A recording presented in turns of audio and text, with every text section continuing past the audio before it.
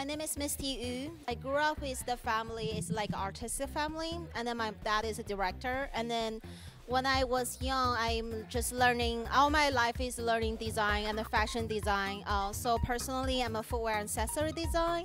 Uh, so I was modeling uh, for myself own pro- design project. Um, so that's why I started like uh, in front of cameras, like in front of photos. That's how I grew up